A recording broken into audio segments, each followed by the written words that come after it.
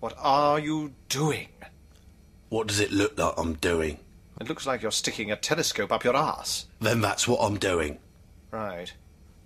If you must know, I'm trying to solve one of the great mysteries of the universe. And you believe the answer lies up your dog star? I've been watching the skies for a week now, and I made some interesting observations. Such as? Mercury, Venus, and Saturn appear to be shifting in their orbits. Jupiter seems to be taking longer to complete a single rotation, and the lady across the road is dumping toxic waste in her dustbin. And what does this mean? It means that our neighbours have little regard for the stringent regulations concerning the disposal of dangerous materials. Plus, it means the universe is expanding. I see. Fascinating. So, what I want to know is if the universe is expanding, does that mean that if you get up in the middle of the night to go to the toilet, it's a slightly longer walk than it was the night before? I don't know. In that case, I think I'll give NASA a quick ring.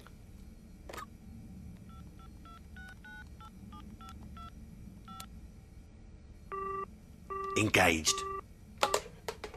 Oh, fuck it. Let's just have a pissing contest. Okay. This is my day.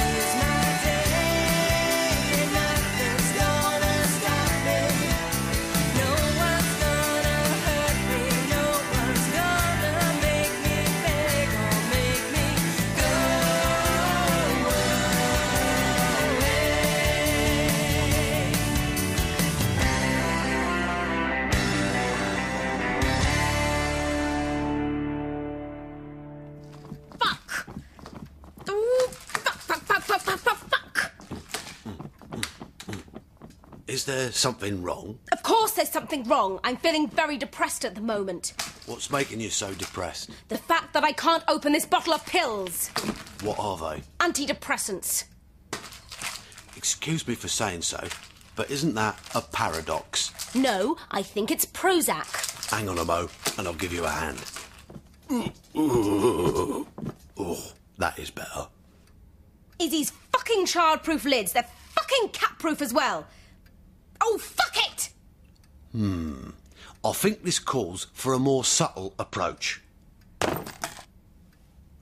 There you go. Thank you. Right then. One, two. Oh, fuck it.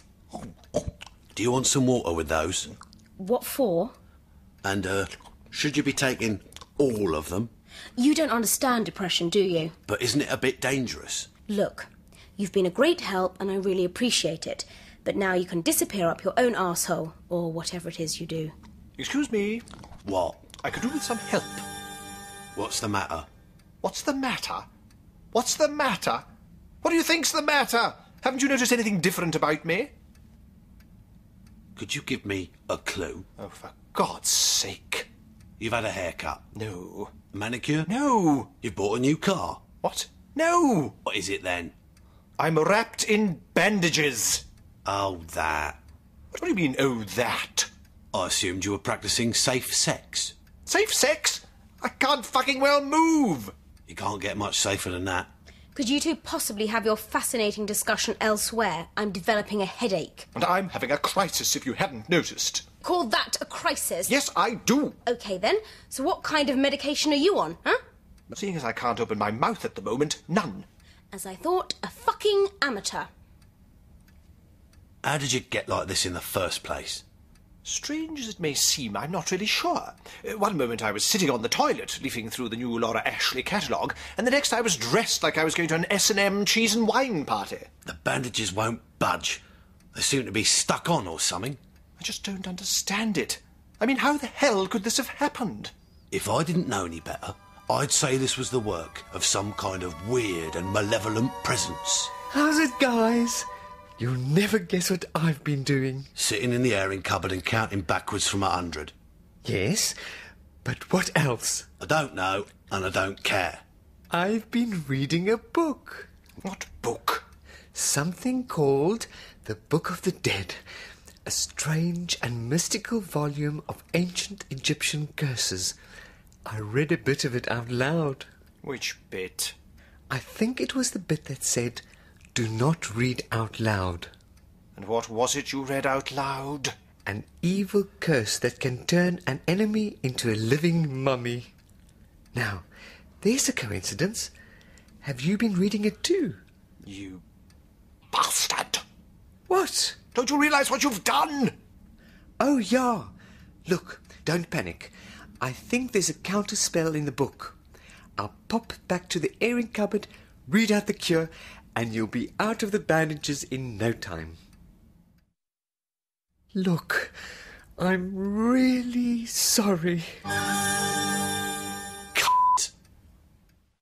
When I get out of these bandages, I'm gonna pull off your wings and stuff them up your egg hatch. We specifically told you not to read from that book again. I said I was sorry. And then I'm gonna put you in the fish tank where your face will be bitten off by electric eels.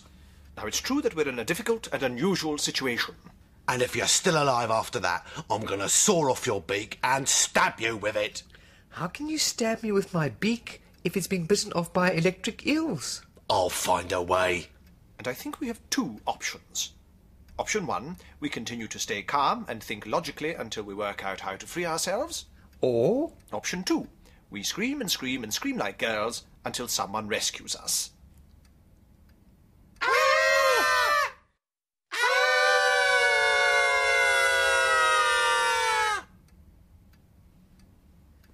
is there a third option?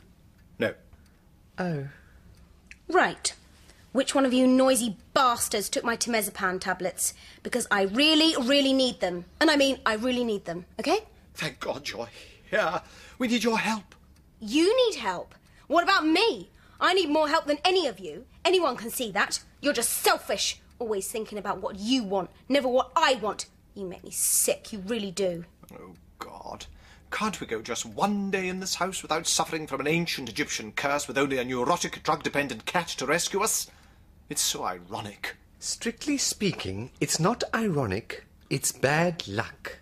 So, when I get out of these bandages and fuck your eye sockets, will it be bad luck or will it be irony? Did you say Egyptian curse? Ancient Egyptian, yes. Why? It's just that we cats were the most revered creatures in the whole of ancient Egyptian society. Oh, fuck off. Perhaps I should remind you that in those days, people were sometimes put to death for offending cats. You can read all about it in the Book of the Dead. You know about the Book of the Dead? Naturally. Then you also know how to lift the curse of the mummy. That, oh yeah, piece of piss.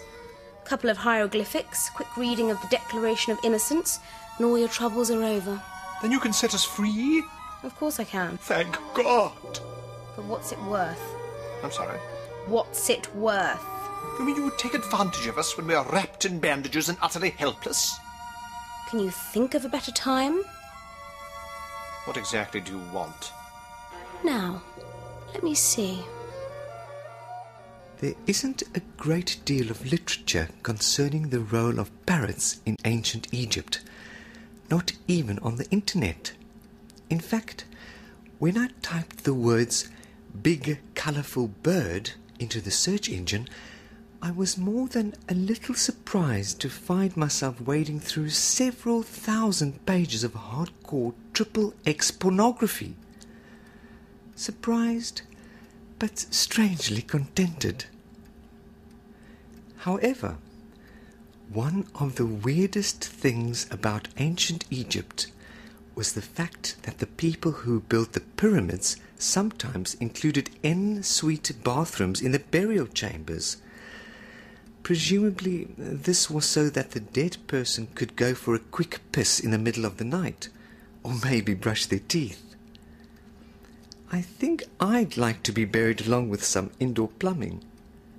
It would mean that even in the afterlife, I could drink my own urine. So that's two kilos of birdseed, several unidentified fairy objects from the upstairs toilet, a bag of regurgitated grass, three chew toys, a subscription to the Kylie Minogue fan club, some old cork matting, and oh yeah, 42 wank mags, eight slightly soiled. Now, you're sure that's everything you've got? Yes. What about over the counter medication? Junior Disprin, under the sink. Right. Anything else? No. Are you sure? Yeah. Because did you know that the process of mummification includes the removal of the liver, lungs, stomach, and intestines, plus the smashing of the brain and its removal through the nose with a long hook? Trevor's cash, foreign currency, and traveller's checks are hidden in a box above the wardrobe. The parrot's stock portfolio is under the cooker, and my gold ingots are in the cistern. Excellent. Now, will you read the spell?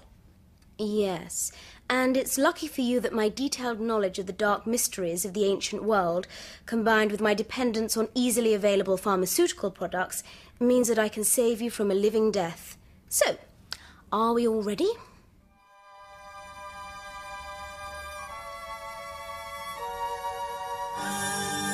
Oh, fuck. Wait a minute. Wait a minute. I think I can move my foot. No, no, I can't.